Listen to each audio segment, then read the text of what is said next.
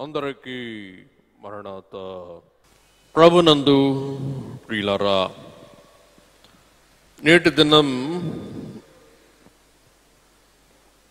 దైవజనుని ద్వారా మనకు ఏర్పాటు చేయబడి ఉన్న ఈ మహోత్సవాలు లేక మహాసభలు జరుగుటకు కారణం ఏంటి అనే కొన్ని విషయాలు దేవుని వాక్యములో నుండి మనము గ్రహించి ధ్యానము చేసుకుందాం.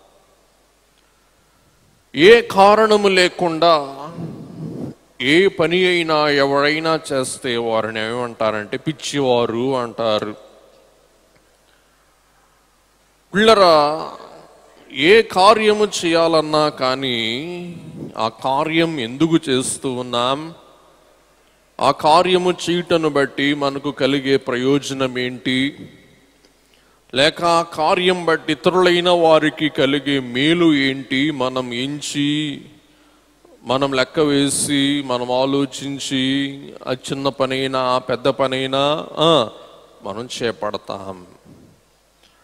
ఈ భయంకర కరోనా కాలములో ఈ సభలు జరిగించకపోతే ఏంటండి? ఏమైపోద్దండి?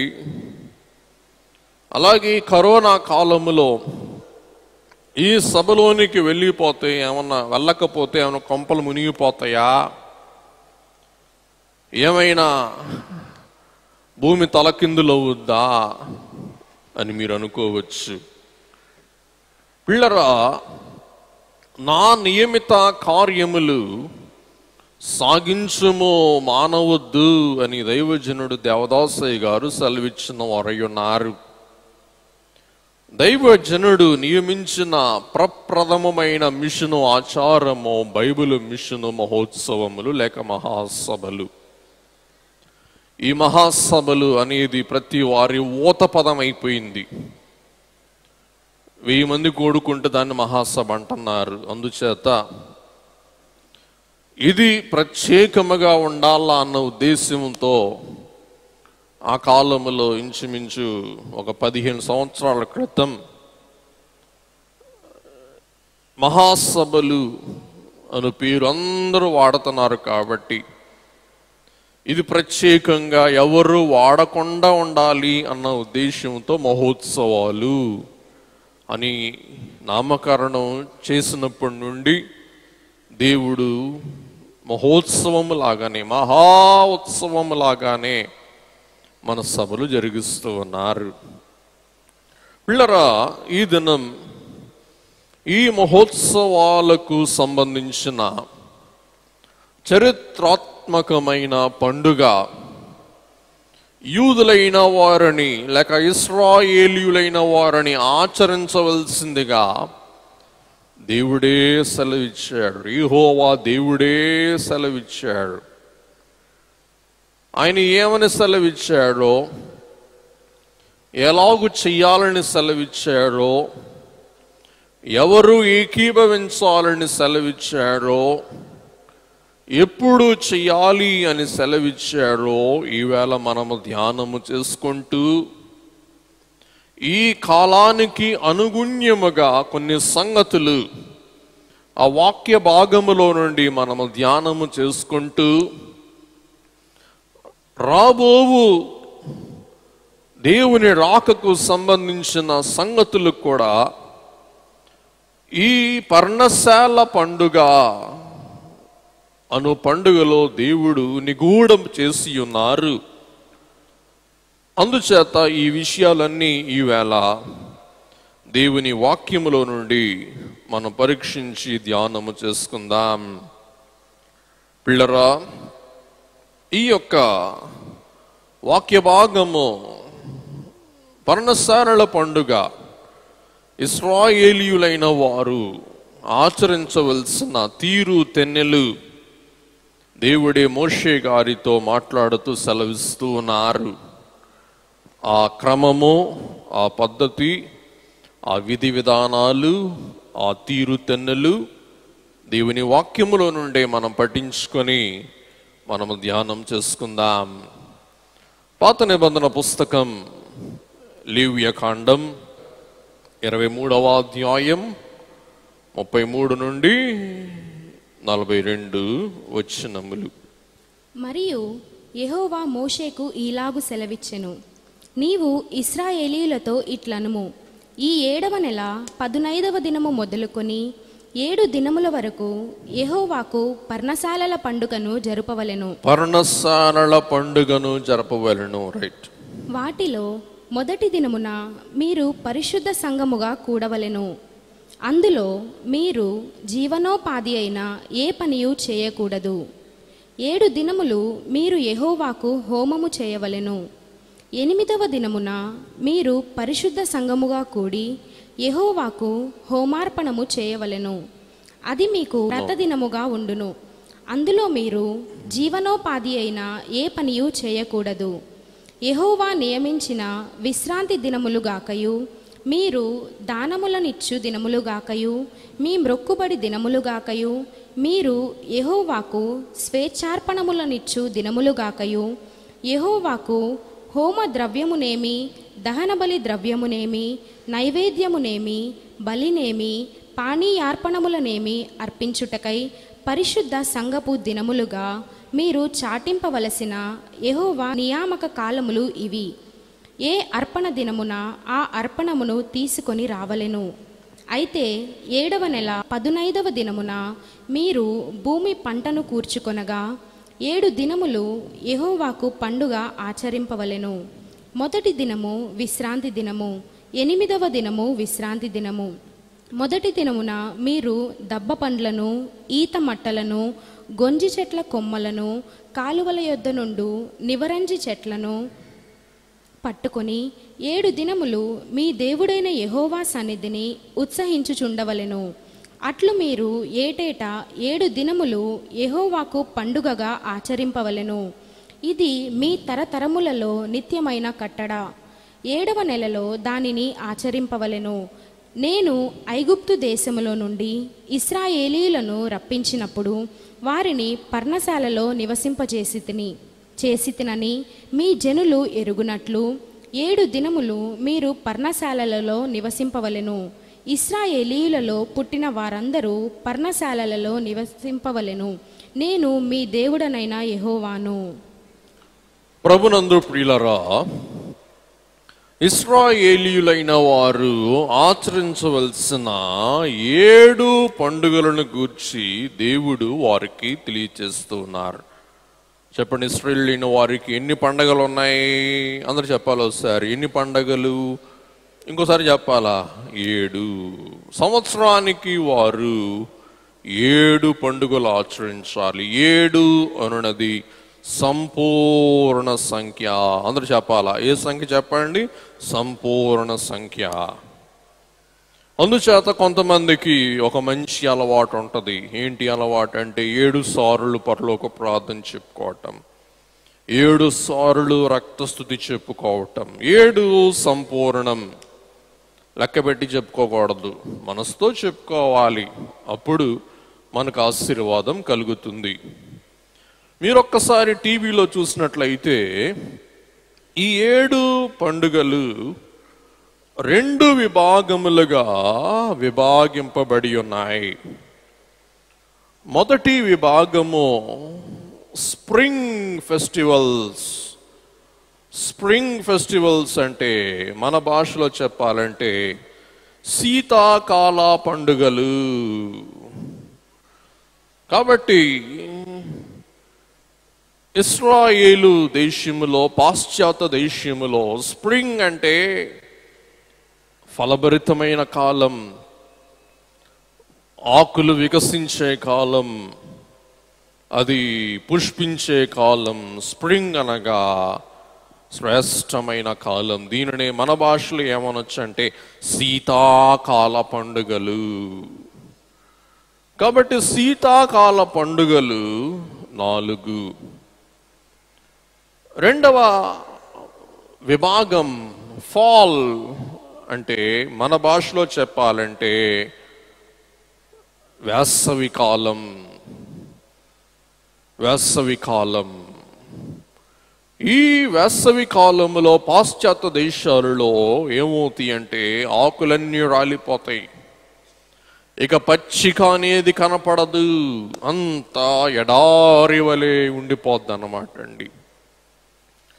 పిల్లరా ఈ ఏడు పండుగలు ప్రభువునకు సూచనగా కనబడుతూ ఉన్నాయి. ఈ ఏడు పండుగలు ప్రభువులో నెరవేరుతూ ఉన్నాయి. ఎలాగు నెరవేరుతున్నాయో మనం ఒక్కసారి చూద్దాం. మొదటి నాలుగు పండుగలు ప్రభువులో నెరవేరిపోయినాయి. ఇంకోసారి చెప్తున్నా మొదటి నాలుగు పండుగలు ప్రభువులో ఏమైపోయినాయి చెప్పండి? నెరవేరిపోయినాయి నెరవేరిపోయినాయి. ఇక మూడు పండుగలు నెరవేరవలసి ఉన్నవి జరగవలసి ఉన్నవి. పండుగలు జరిగిపోయిన నాలుగు పండుగలు శీతాకాలం అనుకూల కాలం కృపాకాలం కనికర కాలం వాత్సల్య కాలములో జరిగిపోయినాయి. ఇక జరగవలసిన మూడు పండుగలు మన ముందు ఉన్నాయి. ఆ మూడు పండుగలు జరగబోవచ్చు ఉన్నాయి జరగవలసి ఉన్నాయి అవి రేపు రానయ్యున్నవి ఉన్నవి. చూడండి ఈ నాలుగు పండుగలకు ఆ నాలుగు పండుగలకు మధ్య కాల వ్యవధి మనకు కనబడుచు ఉన్నది. పిల్లరా ఈ కాల వ్యవధి మనం చూసినట్లయితే మరి చర్చ్ ఏజ్ ఆ కాలములో ఈవేళ మనం జీవిస్తూ ఉన్నాం.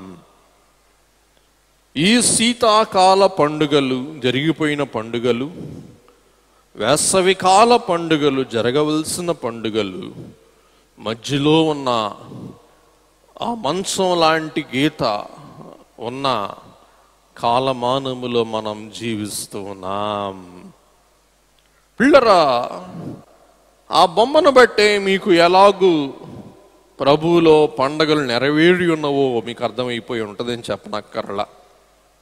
కానీ నా బాధ్యతగా రెండు మాటలు చెప్తాను. పాస్ ఓవర్ అంటే పస్కా పండుగ. బాబు పెట్టండి. పాస్ ఓవర్ అంటే పస్కా పండుగ. పస్కా పండుగ ఏ దినమున జరిగిందంటే మంచి శుక్రవారము పస్కా పండుగ. మంచి శుక్రవార దినమందు యేసుక్రీస్తు ప్రభు మరణించాడు. అందుకే అక్కడ మీరు సిలువ బొమ్మ చూస్తారు. పస్కా గొర్రె పిల్ల లోక పాపమంతటి కొరకు బలి కావలసిన సాయంకాల సమయమందు యేసుక్రీస్తు ప్రభు మంచి శుక్రవార పస్కా పండుగ దినమున మధ్యాహ్నం మూడు గంటలకు నా ప్రాణం విడుస్తూ నా దేవా నా ఆత్మను నీ చేతికి అప్పగిస్తూ అని ప్రభు మరణించాడు. పస్కా పండుగ నెరవేరింది. ఫీస్ట్ ఆఫ్ అన్లీవెండ్ బ్రెడ్ అంటే పులియని రొట్టెల పండుగ. పులుపు అనున్నది పాపానికి నిదర్శనము. ఇస్రాయేలీయులైన వారు పులుపును ఇష్టపడరు. పులుపు వారికి ఇష్టము లేదు. ఇస్రాయేలీలే కాదు. ఒరిస్సా వారు కూడా రేపు వస్తారు ఒరిస్సా వారు మీరు చూస్తారు వారిని. వారు చింతపండు పండిస్తారు. పండించి మనకి పంపిస్తారు కానీ వారు చింతపండు ఒక్క పెచ్చు కూడా వారు వాడరు. వారికి చింతపండు పడదో పడదో. పులియని రొట్టెలు. దేవుడు వారికి సెలవిచ్చే మాట ఏంటంటే పులియని రొట్టెలు. మనం తినేయన్నీ పులుసులే. గుడ్డు పులుసు వంకాయ పులుసు తోటకూర పులుసు పులిహార ఇడ్లీ. ఇడ్లీ ఏమవ్వాలా? పులవాలా. దోశ ఏమవ్వాలా? పులవాలా. పులి పొంగరం అన్ని పులిపే. కాబట్టి మన సాంబారులో కూడా మనకి ఏముండాలా చింతపండు ఉండాలా? చింతపండు ఉండాలా? మనం చింతలో పడాలా? మన చుట్టుపక్కల వాళ్ళని కూడా చింత పెట్టాలా? ఎటా బుర్రు బుర్ర. అంటే మీకు అర్థమై ఉంటుంది. చింత తగిలితే మన ఒంటికి చింత. ఈ చింత పోవాలంటే ఏం పడాలా? గ్యాస్ బిల్ల పడాలా? పిల్లరా మనకు అర్థం కాని వింత ఏంటంటే చింతపండులోనే ఉంది దాని పేరు. ఏంటి చెప్పండి? చింత. చింతపండులో ఉన్న చింత మరిచిపోయి మనం ఏం చేస్తాం? చింత లేకుండా తింటాం. తిన్నాక చింతిస్తాం. అయ్యయ్యో ఎందుకు తిన్నాను? పులుపు అని. ఉళ్ళరా ఈ పులుపు ఎందుకంటే ఆ ఆహారం పొలవకుండా ఉండటానికి పాడు కాకుండా ఉండటానికి. అలాగే పాపము కూడా పులుపే. పాపం బట్టి చింతే. పాపము చేసినప్పుడు చింత అనిపించదు. కానీ పాపము చేసిన తర్వాత ఏమొస్తుంది చెప్పండి? చింత వస్తుంది. ఉదాహరణకు ఏదైనా వనములో మన ఆది పితామహులైన ఆదామవులైన వారు పండు తింటూ ఉన్నప్పుడు పండు తిన్నప్పుడు వారికి చింత లేదు తిన్నాక దేవుని మాట విన్నాక వారికి ఏమొచ్చింది చెప్పండి? చింత వచ్చేసింది. యేసుక్రీస్తు ప్రభు మన పాపముల నిమిత్తం మరణించి ఆయన మన పాపములను తీసివేసి ఉన్నారు.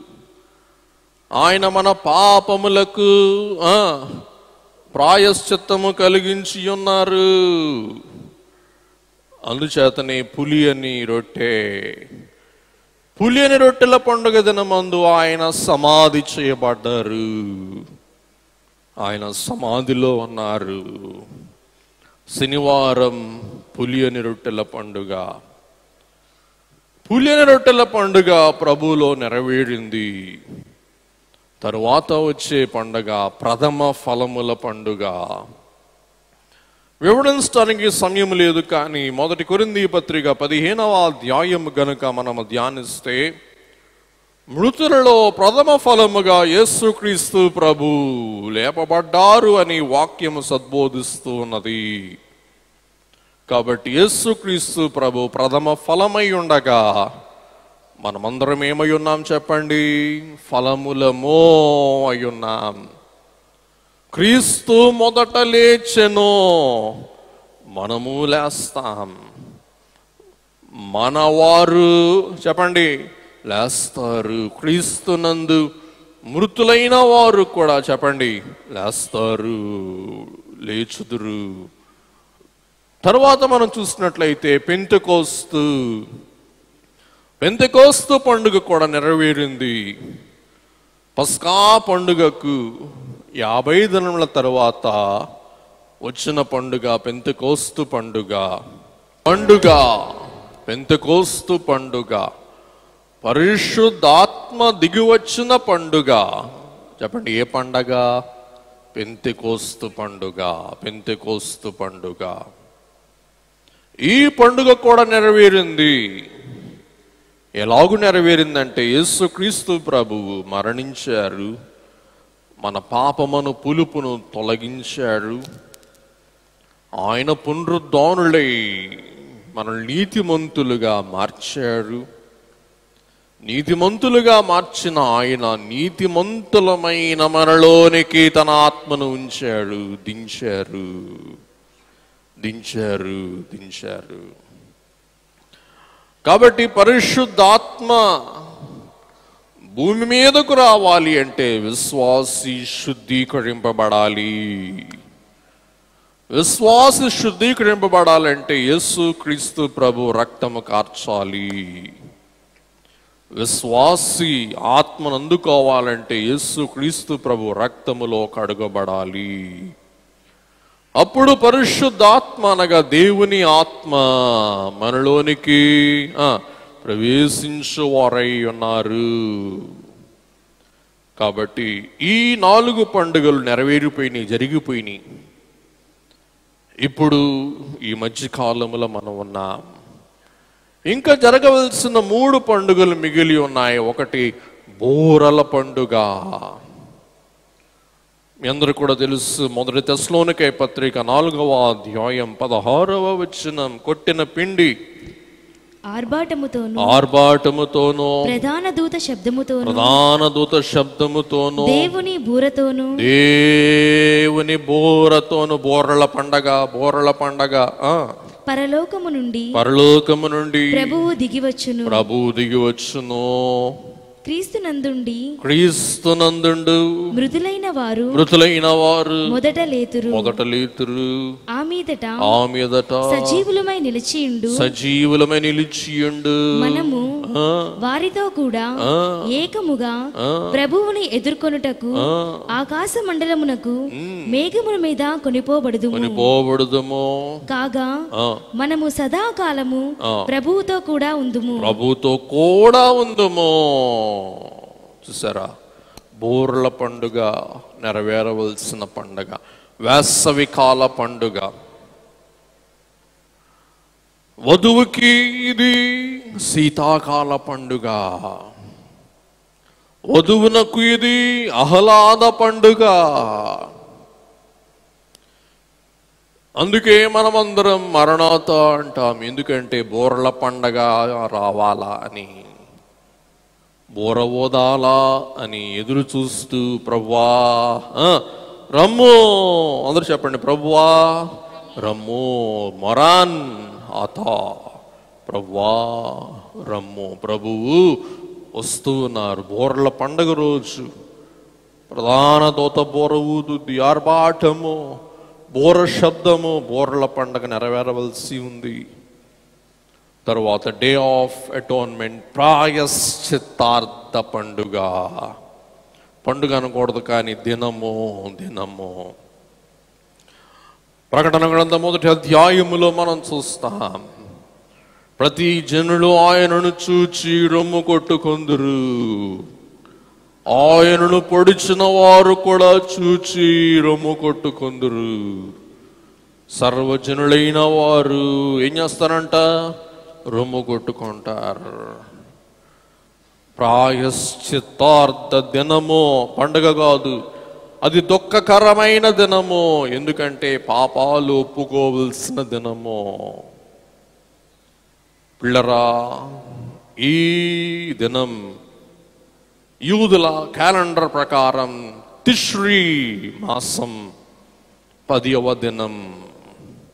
అలాగే మనం మొన్న తొమ్మిదవ తారీఖున అట్టి ప్రాయశ్చితార్థ దినం ఉపవాస ప్రార్థన రెండవ శనివారం ఉపవాస ప్రార్థన మనం జరిగించుకున్నాం. ప్రాయశ్చితార్థ దినం పదివ తారీఖు.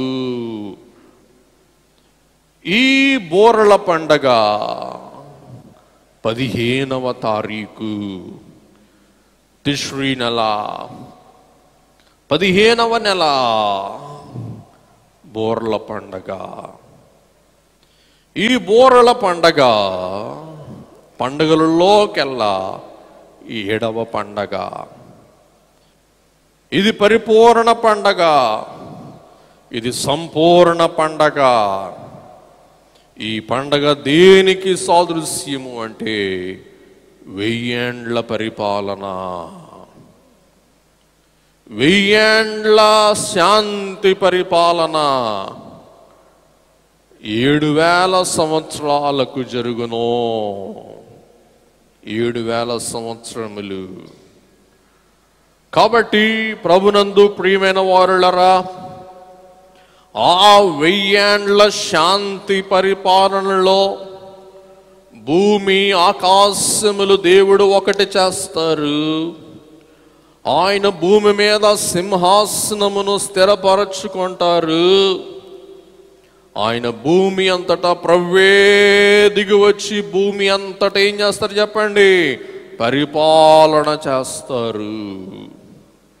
ఆ పరిపాలనలో మన వంతు ఏంటి? మనమును తోటి పరిపాలకులము. కాబట్టి మనము ఆ వెయ్యేండ్ల శాంతి పరిపాలన ఆ వెయ్యేండ్ల రాజ్య పరిపాలన రాజు అయిన గొర్రెపిల్ల యేసుక్రీస్తు ప్రభు యొక్క పరిపాలన. అప్పుడు దుఃఖం ఉండదు కన్నీరు ఉండదు ఏడ్పు ఉండదు రోగం ఉండదు తెగులుండదు ముళ్ళుండదు ముళ్ళు ఉండదు తుప్పులు తుప్పలుండవు. పగలుండవు కక్షలుండవు న్యాయం ఉండదు అన్యాయం ఉండదు అంతా సమాధానమే. ఆ రాజ్యమునకు రాజు యేసు రాజు. ఆ రాజ్య పరిపాలన సూచించు పండగ పరణసారుల పండుగ. కాబట్టి ఆయనే మన గుడారము. ప్రభువే మన నివాసము. చెప్పండి. ఆ శాంతి పండగ రోజున మన గుడారం మన నివాసం ఎవరు? చెప్పండి. అమలారా వింటున్నారా? అర్థమవుతుందని నేను చెప్పేది నిద్ర వస్తుందా? వినండి వినండి. ఎందుకు పండగ చేసుకుంటున్నా? మీకు చెప్తున్నా. అది నా ఆకాంక్ష. ప్రభువే మన గుడారం. ప్రభువే మన నివాసం.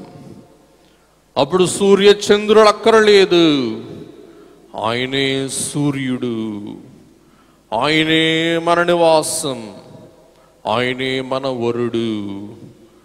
కాబట్టి దేవుని బిడలారా ఆ పండుగకు ముంగుర్తువై ఉన్న పండుగ పర్ణశాలల పండుగ. వీళ్ళరా ప్రతి పండుగ ఒక జరిగిన కార్యము కానీ జరగబోవు కార్యమును కానీ ప్రస్తుత కాలములో సూచించినది అయ్యున్నది. పిల్లరా వినండి పండగలో ఒక అర్థం ఉంటుంది. పండగ జరిగించడంలో అందరు చెప్పండి ఒక కారణం ఉంటుంది. చెప్పండి ఏముంటుంది చెప్పండి? ఒక కారణం ఉంటుంది. ఏం పాప నీకు పెళ్ళయిందా? మ్యారేజ్ అయిందా? నించో ఒకసారి. మ్యారేజ్ అయిందా? మ్యారేజ్ అయింది. కాబట్టి మ్యారేజ్ వివాహ యానివర్సరీ పెళ్ళి కాకముందు చేసుకున్నావా? పెళ్ళైన తర్వాత చేసుకున్నావా? పెళ్ళైన తర్వాత. పెళ్ళి కాకముందు చేసుకుంటుందా? చేసుకోదు. కాబట్టి వివాహ యానివర్సరీ మరి ఇప్పుడు తనకి తెలుసు మీరు అడిగి తెలుసుకోండి. ఆ వేళ జరిగిన పెళ్ళిని కూర్చో పాప తలంచుకొని ఏం చేస్తుంది ఈ పాప? వివాహ ఒడిసి జరిగించుకుంటుంది. అలాగే జరిగిపోయిన కార్యమును తలంచుకొని వారు పండుగ ఆచరించాడు ఏంటి జరిగిపోయిన కార్యం? వారి నిర్గమము జరిగింది. ఏమి జరిగింది అంటే ఇస్రాయేలు జనులైన వారు దేవుని మాటను బట్టి దాసత్వ దేశము అయ్యున్న ఐగుప్తు అను దేశము నుండి దేవుని మాటను బట్టి దేవుని శక్తిని బట్టి దేవుని హస్తమును బట్టి దేవుడు చెప్పిన మాట ద్వారా వారు కార్చిన పస్కా గొర్రె పిల్లను బట్టి వారేమయ్యారు? దాసత్వములో నుండి ఇంకా బానిసత్వములో నుండి వారు విడుదలయ్యారు. అందరు చెప్పాలా? ఏమయ్యారు చెప్పండి? అందరు చెప్పాలా? విడుదలయ్యారు. అమలరా ఒక ప్రశ్న అడుగుతాను. మీకు మీరు నాకు సమాధానం చెప్పాలా? అందరూ చెప్పాలా సమాధానం? వినండి. మనకి లాక్డౌన్లో బాగుందా? లాక్డౌన్ ఎత్తేసిన తర్వాత బాగుందా? ఎంతమందికి లాక్డౌన్లో బాగుందో చెయ్యొద్దండి ఒకసారి. ఈ మా అమ్మగారు లాక్డౌన్లో బాగుందంట. ఒక్కళ్ళు మా అమ్మ ఒక్క మా అమ్మ ఏ లాక్డౌన్లో ఎందుకు బాగలేదు? ఇంట్లోనే ఉన్నా చక్కగా టీవీ చూస్తా బంధువులతో కలిసి పిల్లలతో కలిసి సంతోషంగా జీవించాం. ఏ ఇబ్బంది ఏంటి? చెప్పండి లాక్డౌన్లో మనం ఏమైపోయాం చెప్పండి? బంధింపబడ్డాం. అందరు చెప్పాలి ఒకసారి ఏమైపోయాం చెప్పండి? బంధింపబడ్డాం. అలాగే నాలుగు వందల సంవత్సరాలు ఇస్రాయేలీయులైన వారు ఎక్కడ బంధింపబడ్డారు? ఐగుప్తు అను పరాయి దేశములో. బంధింపబడిన వీరు ఎవరి ద్వారా విమోచింపబడ్డారు? ఎవరి ద్వారా విడుదల పొందారు? గొర్రెపిల్ల రక్తము ద్వారా. దేవుని మాట ద్వారా. దేవుని హస్తము ద్వారా. వారు రామశీస్సు అను ఐగుప్తు నుండి బయటకు వచ్చిన తర్వాత వారు అరణ్యములో ఉన్నారు. చెప్పండి ఎక్కడున్నారు చెప్పండి? అందరూ చెప్పాలా? ఎక్కడున్నారు చెప్పండి? అరణ్యములో ఉన్నారు. ఐగుప్తులో వారికి గుడారం ఉంది. ఐగుప్తులో వారికి నివాసములు ఉన్నాయి.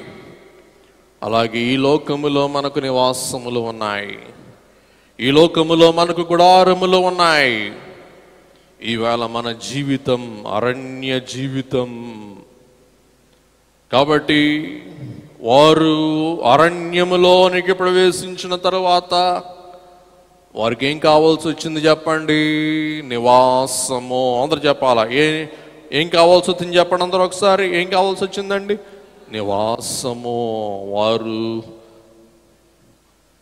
తల వాల్చుకొనుటకు తల దాచుకొనుటకు నివాసం కావాల్సి వచ్చింది. ఆ అరణ్యంలో వారు ఏం చేశారంటే చెట్ల కొమ్మలతో గుడారం వేసుకున్నారు. డేరాలు కట్టుకున్నారు. ఆ డేరాలలో వారు నివసించాడు చెప్పండి ఏం చేశారు చెప్పండి? అందరు చెప్పాలి ఒకసారి. ఏం చేశారు చెప్పండి? డేరాలలో నివసించాడు. వారు డేరాలలో నివాసము చేస్తూ ఉన్నారు. చెట్ల కొమ్మల కింద నివాసము చేస్తూ ఉన్నారు. ప్రియ దేవుని బిడ్డలారా దేవుడు వారికి జ్ఞాపకము చేస్తూ ఉన్నారు. నేను మిమ్ములను ఏం చేశాను? విడిపించాను. నేను మిమ్ములను బయటకు తీసుకుని వచ్చాను. అందుకే దైవజనుడు దేవదాసయ్య గారు చక్కని పాట రాస్తారు. యేసు నన్ను విడిపించి యేసు నన్ను విడిపించి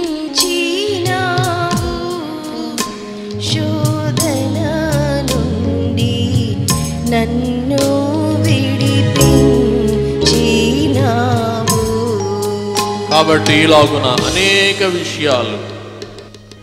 ఇంటికి వెళ్ళిన తర్వాత మీ ఖాళీ ఉన్నప్పుడు పాడుకోండి. విడిపించినావు. పాపము నుండి విడిపించినావు. శోధన నుండి విడిపించినావు. వ్యాధి నుండి విడిపించినావు. ఇంకా దయ్యముల నుండి విడిపించినావు. కష్టము నుండి విడిపించినావు. భయం భయము నుండి వేదన నుండి వేదన నుండి శిక్షల నుండి ఈలాగున పెద్ద జాబితా ఉంది. కాబట్టి యేసు నన్ను విడిపించినావు. వినండి రేపు పాట పాడుకోండి. అమలారా అమలారా అయ్యులారా అక్క చెల్లిండ్రులారా తల్లులారా మామల్లారా ఈ పాట రేపు పాడుకోండి. యేసు నన్ను విడిపించినావు విడిపించినావు విడిపించినావు విడిపించినావు. ఈ పాట పాడుకున్నాక ఎల్లుండి ఏం చేయండి? పందిరిలోనికి వచ్చి. విడిపించిన దేవా నీకు స్తోత్రం విడిపించిన దేవా నీకు స్తోత్రం విడిపించిన దేవా నీకు స్తోత్రం అని స్థుతించండి ఈ పండగ ఎవరికి అంటే విమోచింపబడిన వారికి. విడుదల పొందిన వారికి కానీ చెప్పండి అందరికీ కాదు బానిసలకు కాదు.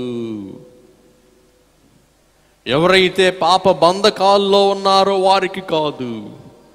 ఎవరైతే వేదనలో ఉన్నారో వారికి కాదు. ఎవరైతే చిక్కులలో ఉన్నారో వారికి కాదు. ఈవేళ దేవుని ఏర్పాటు స్వస్థత ప్రార్థన దినమన దేవుని సముఖములోనికి వచ్చి సాక్ష్యము చెప్పాడు గతములో చెప్పాడు ఈవేళ చెప్పాడు. దేవుడు నా బాకీలు తీర్చాడు. దేవుడు నాకు వివాహము చేశారు. దేవుడు నాకు పిల్లల్నిచ్చారు దేవుడు నా కుటుంబాన్ని నిలబెట్టారు.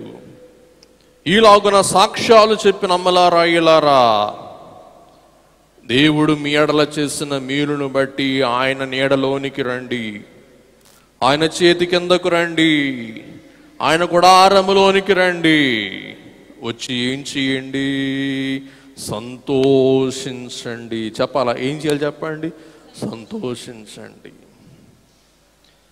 విడిపించిన వాటిని మర్చిపోండి.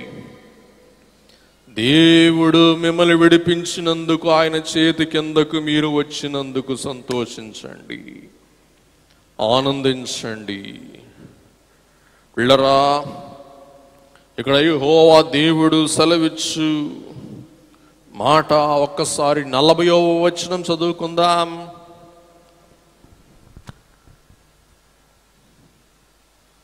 మొదటి దినమున మీరు దబ్బ పండ్లను ఈత మట్టలను గొంజి చెట్ల కొమ్మలను కాలువల యొద్ద నుండు నిరవంజి చెట్లను పట్టుకొని ఏడు దినములు మీ దేవుడైన యహోవా సన్నిధిని ఉత్సహించుచుండవలెను. వినండి ఉత్సహించుచుండవలెను.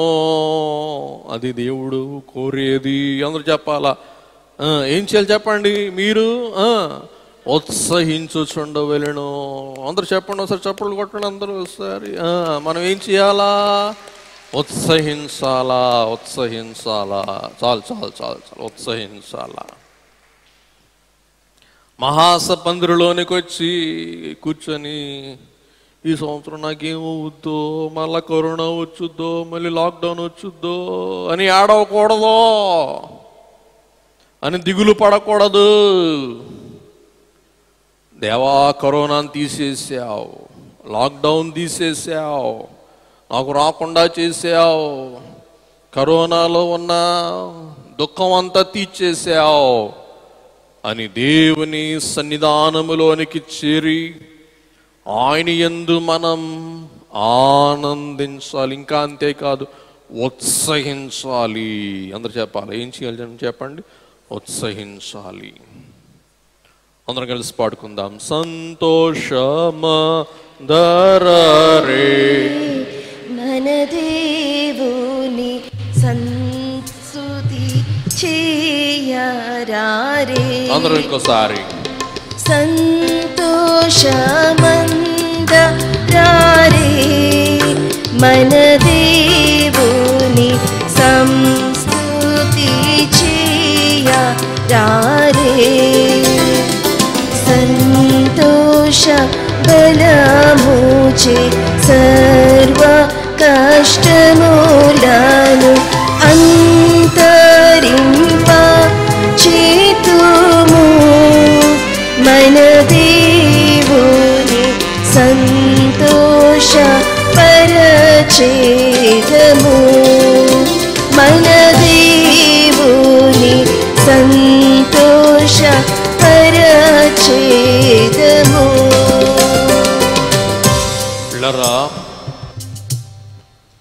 సంతోషింపరారే. మన దేవుని స్తుతింపరారే. సంతోష బలముచే ఆ, సర్వ కష్టములను అంతరింపచేయుదుమో. మన దేవుని సంతోషపరచదము. వినండి వినండి. ఈ పండుగలో ఏకీభవించి మనము సంతోషిస్తే మన దేవుడు సంతోషిస్తారు. ఈ పండుగలోనికి వచ్చి మనము సంతోషిస్తే మన దైవజనుడు సంతోషిస్తారు. ఈ పండుగలోనికి వచ్చి మనం సంతాపం ప్రకటిస్తే దేవుడు సంతాపం ప్రకటిస్తారు. ఈ పండుగలోనికి వచ్చి మనం సంతాపంగా ఉంటే దైవజనుడు కూడా సంతాపంగా ఉంటాడు. ఇది సంతాప పండగ కాదు కానీ చెప్పండి ఏ పండగ ఇది? సంతోష పండగ. వీళ్ళరా దేవుడు అంటారు మిమ్మల్ని అరణ్యములో శ్రేష్టమైన ఆహారముతో పోషించా. ఏ ఆహారం? పరలోకాహారం పైనుండి కురిసిన ఆహారం మన్నా. మన్నా అంటే ఆహారం ఏంటో ఎవరికీ తెలియదు. ఇప్పటికీ తెలియదు తెలుసుకోవాలన్నా మనకు తెలియదు. ఎప్పుడు తెలుస్తుంది అంటే పరలోకంలోకి వెళ్తే అప్పుడు మనకు తెలుస్తుంది. మన్నా. ఏంటి మన్నా అంటే దేవదూతల ఆహారం నరులు దేవదూతల ఆహారము తిన్నారు. వినండి వినండి వినండి. జగనన్న గారు లేక ముఖ్యమంత్రి గారు తన ఇంట్లో నుండి మీకు చేపల కూర పంపిస్తారు. చిచి చేపల కూర ముట్టుకొని నేను. అంటారా ఎవరైనా? ఎంతమంది అంటారో చెయ్యొద్దండి ఒకసారి. పిల్లరా దేవదూతల ఆహారం దేవుని పరిచారుకుల ఆహారం చెప్పండి ఎవరు తిన్నారు? నరులు తిన్నారు. అయినా వారు శనిగారు వారు కొనిగారు దేవుని బిడ్డలారా రేపటి నుండి మనం తినబోతున్నాం. ఏంటి? అమృతాహారం. ఏంటి? సాంబార్. ఏంటో ఆ సాంబార్ రుచి ఏంటో మనకి తెలియదు. మీ ఇంట్లో కుదురుద్దాట. ఆ, అనుకుంటా కుదరదు అనుకుంటాను మరి. మీరెట్లా సాంబార్ పెడతారు నాకేం తెలుసు. శ్రేష్టమైన అన్నం శ్రేష్టమైన సాంబార్. అంతా సంతోషమే అంతా ఉత్సాహమే. కూరగాయలు తరుగుతూ సంతోషం ఉత్సహిస్తూ సంతోషం. ఒక పెద్ద ఆయన అంటున్నాడు. బాబు నాకు ఒక కూరగాయలు తరిగే బ్యాచ్ ఇప్పించండి అయ్యా అంటున్నాడు ఆయన. ఎవరంటే పెద్ద ఇంజనీరు. ఏమండి? మీకేం కర్మ అండి? కూరగాయలు తరిగే బ్యాచ్ మీకెందుకండి? మీకు విఐపి బ్యాచ్ ఇస్తా తీసుకో. అయ్యగారు నేను మిమ్మల్ని అడగలేదుగా. నేను ఈయన అడుగుతున్నా కూరగాయల బ్యాచ్ ఎందుకు? మా బాస్ భార్య కూరగాయలు తిరిగే బ్యాచ్ తెమ్మంది నన్ను. విఐపి బ్యాచ్ వద్దంట ఆమెకి ఏ బ్యాచ్ కావాలంట? కూరగాయలు తిరిగే బ్యాచ్ కావాలంట. అది ఇవ్వయా? చూసారు ఇవాళ ఏ బ్యాచ్కి డిమాండ్ విఐపి బ్యాచ్ కాదు ఏ బ్యాచ్కి డిమాండ్ కూరగాయలు తిరిగే బ్యాచ్ వాళ్ళు ఏమన్నా దిక్కుమాలినలా చెప్పండి కూరగాయలు తిరిగే బ్యాచ్ అడగటానికి. వారికి తెలుసు ఆ బ్యాడ్జీలో ఆ పనిలో ఆ తరగటంలో ఉన్న ఆనందం ఆశీర్వాదం నేను వాస్తవం చెప్తున్నా. అలాగే ఇంకొక ఇన్కమ్ ట్యాక్స్ కమిషనర్ గారి భార్య కారు దూరంగా పెట్టేసి వచ్చేసి ఆకులు ఎత్తుతుంది అందరిని పొమ్మని జవాన్లందరిని పొమ్మని వచ్చి ఆకులు ఎత్తుతుంది అంటే ఏంటంటే నాకు ఆశీర్వాదం. అట్లా ఎంతమందో కాబట్టి ఎందుకు వారు అలాగు చేస్తున్నారంటే ఆ పనిలో వారికి ఏముంది చెప్పండి? సంతోషం. బహుశా ఇంటో వాళ్ళ ఆయన వెండి కంచం కూడా దీదేమో ఈ మహాతల్లి. కానీ పందిరిలోకి వచ్చి ఏం చేస్తుంది? ఎవరో ఎంగిలి ఇస్త్రాకు తీస్తుంది. చూసారా? అది ఒక ఆనందం అదొక ఆశీర్వాదం అది ఒక సంతోషం. సంతోషం. కాబట్టి దేవుని బిడ్డలారా మన దేవుడు ఈ వాక్యం బట్టి మనం చూస్తే మనలను బాధ పెట్టి మన బాధను చూసి ఆయన సంతోషించే దేవుడు కారు. గమనించండి. ఆయన కోరేది ఆ విరిగి నలిగిన హృదయమో. అందుకే దైవజనులు అంటూ ఉన్నారు విరిగిన మతి కాశ నీవే వినయం.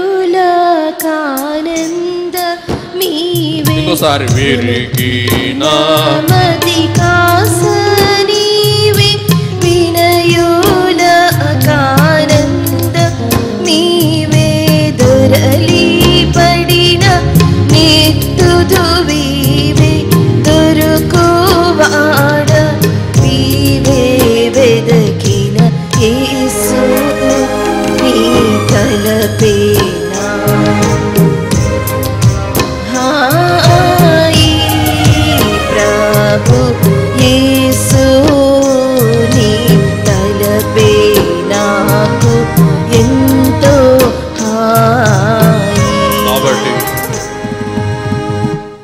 పిల్లరా మన దేవుడు సెలవిచ్చే మాట మీ బట్టలు చింపుకోవద్దు పిచ్చోళ్ళారా.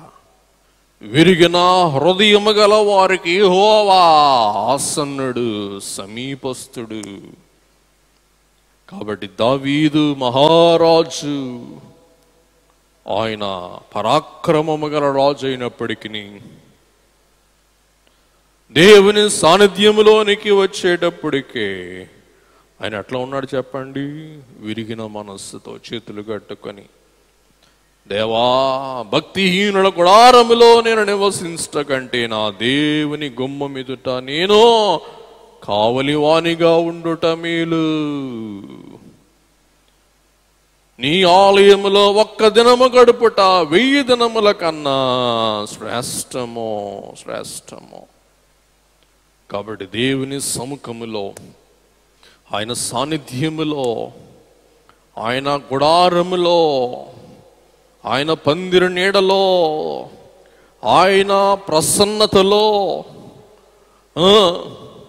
ఆయన సన్నిధిలో మనము చేరి మనం ఏం చేయాలి చెప్పండి?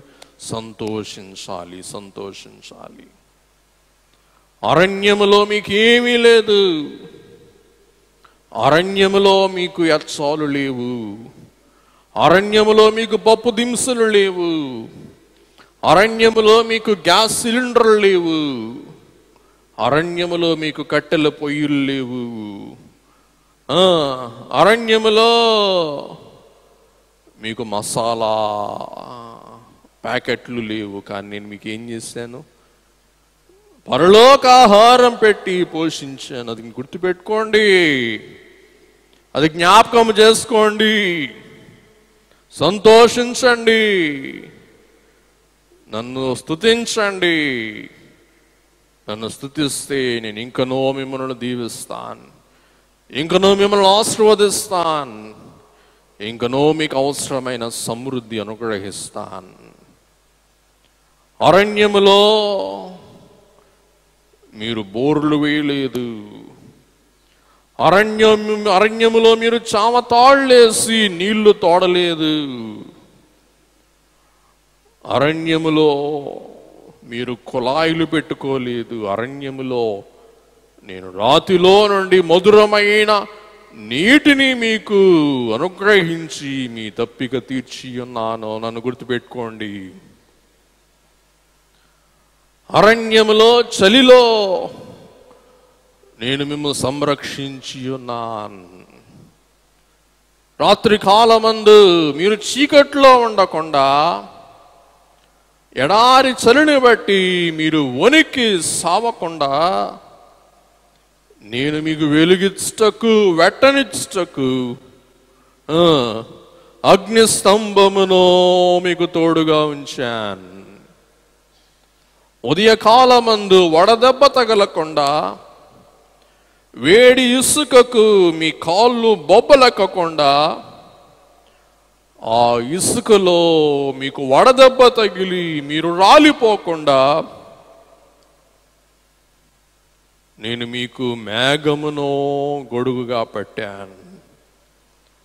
రాత్రికాలమందు వెచ్చగా అగ్నిస్తంభము నీడలో ఉన్నారు.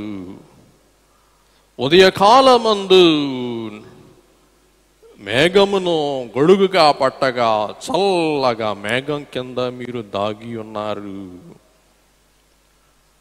నలభై సంవత్సరాలు మీరు అరణ్యములో ఉన్న మీ బట్టలు పాతగిల్లలేదు మీ చెప్పులు అరగలేదు. మీరు నడిచినా మీ కాళ్ళు వాపు పట్టలేదు. ఇన్ని కార్యాలు మీ పితరులైన వారికి చేసిన దేవుడను నేను నన్ను జ్ఞాపకము చేసుకున్నటకు మీరు ఏడు రోజులు గుడారములలో ఉండండి. మీ కుటుంబముతో కలిసి గుడారములో ఉండండి. మీరు సహవాసములో గుడారములలో ఏకీభవించండి. ఇక చాలా సంగతులు ఉన్నాయి సమయమైంది ముగిస్తూ ఉన్నాను. కాబట్టి ఈ పర్ణశాలల పండుగ ద్వారా వారు తలపోసుకోవలసిన అంశములు నేను మీకు చెప్పి ముగించి వేస్తాను. మీరు మీ విమోచనను జ్ఞాపకము చేసుకోండి. మీరు మీ విడుదలను జ్ఞాపకము చేసుకోండి. ఇందాక మనం పాట పాడుకున్నాం. మీరు మీ యొక్క సమృద్ధిని జ్ఞాపకం చేసుకోండి. ఒకవైపు కరోనా ఉన్న మరొక వైపు కరువు లేకుండా దేవుడు మనకు అన్నం పెట్టాడు. ఎంత గొప్ప దేవుడు. ఆయన నామానికి మహిమ కలుగును గాక. ఈవేళ మన భారతదేశంలో తొంభై మిలియన్ టన్నుల బియ్యం ఆహారం మన గోడౌన్లో ఉంది నిలవ ఉంది. ప్రభుత్వం మనకి ఇవ్వాలి. అదే తర్వాయి. పిల్లరా మనకి దేవుడు కరువులో కూడా సమృద్ధిచ్చాడు. దేవుడు మనకు సంతోషమునిచ్చాడు. దేవుడు మనకు సహవాసమును ఇచ్చాడు.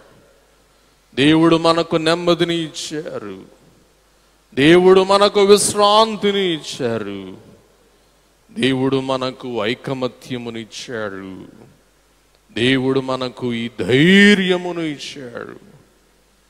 పాశ్చాత్య దేశాల్లో ఎవరు బయటికి రాలేని పరిస్థితి. ఈవేళ మనమందరం ధైర్యముగా తిరుగుతున్నాం. డబ్బు ఉన్నా సొమ్ము ఉన్నా వ్యాక్సిన్ ఉన్నా ధనిక దేశాల వారు దరిద్రులుగా ఇంట వారు మాగేసిన మామిడికాయల్లాగా మగ్గిపోతూ ఉండగా మనమైతే స్వేచ్ఛగా సంతోషముగా చక్కని అమృతం లాంటి సపోటా పండుల్లాగా మనం బయట మసులుతూ ఉన్నాం. వారు మాగేసిన మామిడికాయలాగా ఉన్నారు. మనం సంచరిస్తూ ఉన్న సపోటా కాయలాగా ఉన్నాం. సంతోషం కాదా? కాబట్టి దేవుని బిడలారా ఇట్టి దేవుని మీరు తలంచుకోండి. ఇటు నన్ను మీరు తలంచుకోండి. నన్ను జ్ఞాపకం చేసుకోండి. నా ఉపకారములు జ్ఞాపకము చేసుకోండి. నేను తొలగించిన రోగములను బట్టి సంతోషించండి. నేను తీర్చిన రుణములు బట్టి సంతోషించండి. ఇకనో మీరు కలుగబో ఆశీర్వాదముల కొరకు నన్ను వేడుకోండి. నన్ను ఆకాంక్షించండి. నన్ను అడగండి. నా ఎద్దకు రండి. పిల్లర ఇది సభలన్నిటికెల్లా ఆరంభ సభ మొదటి సభ ఘనమైన సభ. ఈ సభ తర్వాతే మిషన్లో ఏ సభ అయినా ఈ సభ జరిగిన తర్వాతే మిషన్లో ఏ సభ జరగవలసిందైనా. కాబట్టి ఇది ఒక తలమానికం మనకు మన మిషన్కు. అందుచేత దేవుడు ఏర్పాటు చేసిన స్థలములో మీరు ఏకీభవించండి అని దేవుడు సెలవిస్తూ ఉన్నారు.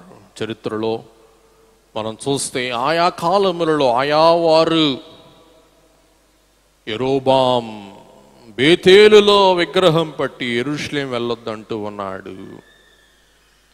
అలాగుననే న్యాయాధిపతులు మొదటి అధ్యాయములు వివరించడానికి టైం లేదు ఉదహరించి ముగించేస్తాను. దానీయులైన వారు ఎరుషులేం వెళ్ళకుండా అమోరియులైన వారు అడ్డుకున్న వారై ఉన్నారు. ఇంకా అనేకమైన సాదృశ్యాలు ఉన్నాయి. కాబట్టి ఆయా వారు మీకు అడ్డు తగిలిన అడ్డుపడినా కానీ దేవుని ముఖము చూస్తూ అన్ని ఆటంకములు అవలేలగా దాటి సభలోనికి ప్రవేశించదవు తెలుసునా? అడ్డురారు ఎవరు తెలుసునా?